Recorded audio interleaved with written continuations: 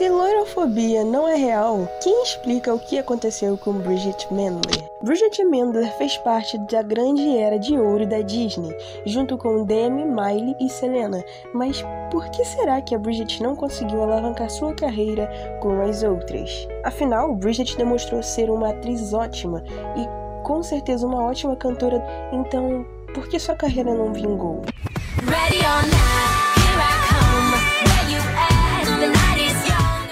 Bridget fez vários papéis pequenos antes de conseguir um papel de destaque. Em 2009, ela fez um teste para interpretar Sunny em Sunny Entre Estrelas, que acabou ficando com Demi Lovato.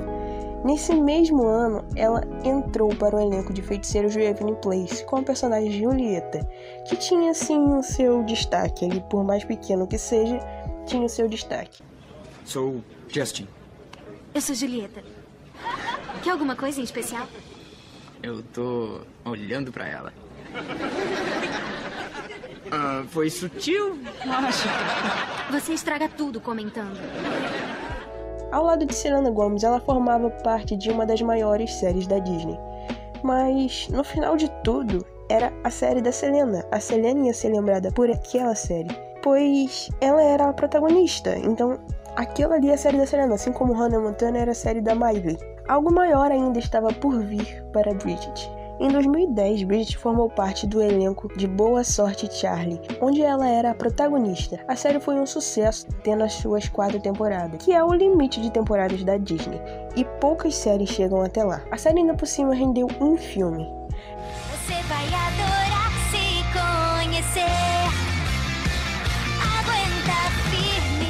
Em 2011, Bridget foi escalada para o filme Lemonade Mouth, ao lado de Hayley Kiyoko e Naomi Scott. Como o filme era musical, podemos ver todos os atores cantando, mas principalmente a Bridget, pois ela era a vocalista principal da banda.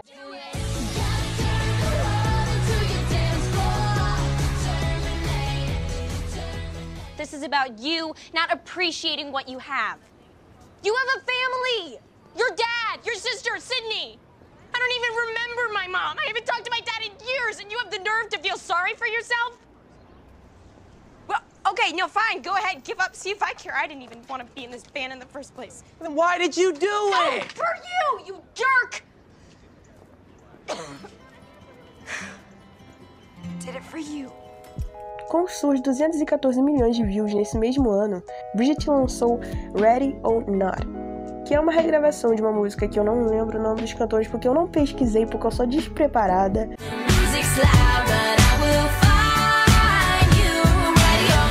Nesse mesmo ano, Bridget também lançou Hurricane, com 174 milhões de views.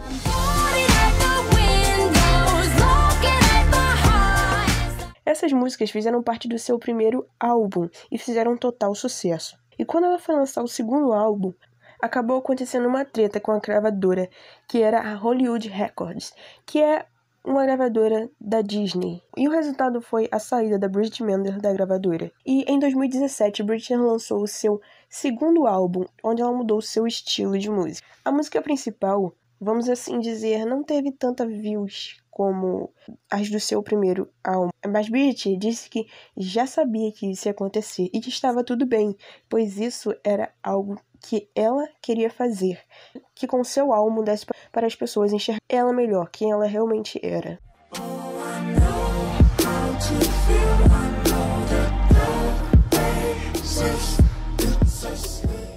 Logo após o término da série, Bridget decidiu se matricular na University of Southern California. Caraca, muito Onde se formou em antropologia. Em 2020, Bridget concluiu sua graduação no IMT. Meus amigos, ela, ela estava em Harvard. Harvard.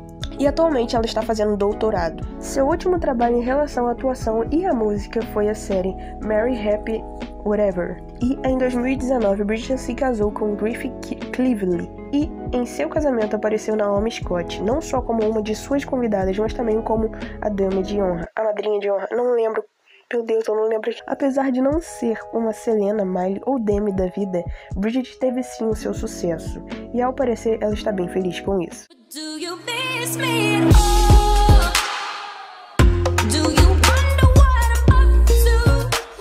Muito obrigado, esse foi o vídeo, espero que vocês tenham gostado e fui! Eu acabei de perceber que eu tava gravando com o lado errado do, do, do celular, então foi mal aí o som. E é isso aí. Valeu. Fui.